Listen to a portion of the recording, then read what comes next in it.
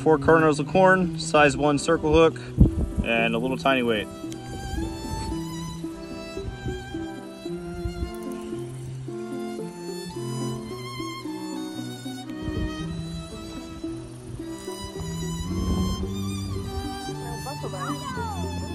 What is he?